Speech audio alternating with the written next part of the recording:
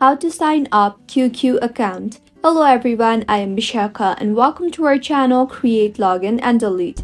Let's get right into the tutorial. In order to sign up to QQ account, open the QQ application firstly.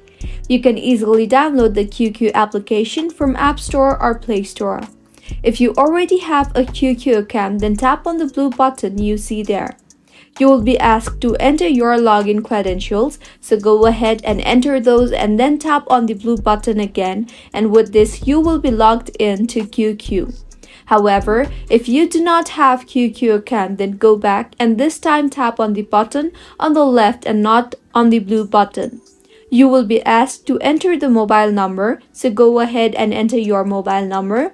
Also make sure the country code is correct. If not, you can tap on the country code option there and change the country code depending on your location.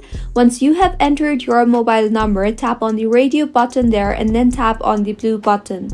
You will now be asked to solve a puzzle or a CAPTCHA. So go ahead and do that. Once done, you will receive a verification code or the OTP on the mobile number you entered previously.